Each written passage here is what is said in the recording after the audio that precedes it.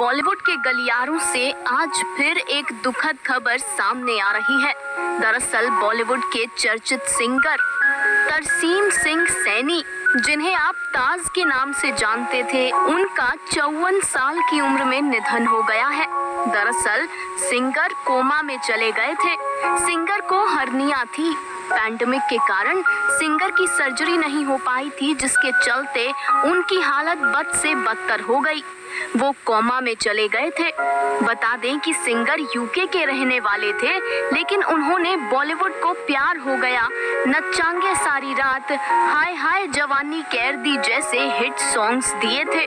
Singer ने बटला house race कोई मिल गया, तुम बिन समेत कई चर्चित फ़िल्मों को संगीत दिया है। सिंगर होने के साथ साथ ताज एक बेहद अच्छे कंपोजर भी थे। इतनी कम उम्र में ताज का चले जाना बॉलीवुड इंडस्ट्री के लिए एक बड़ी क्षति है।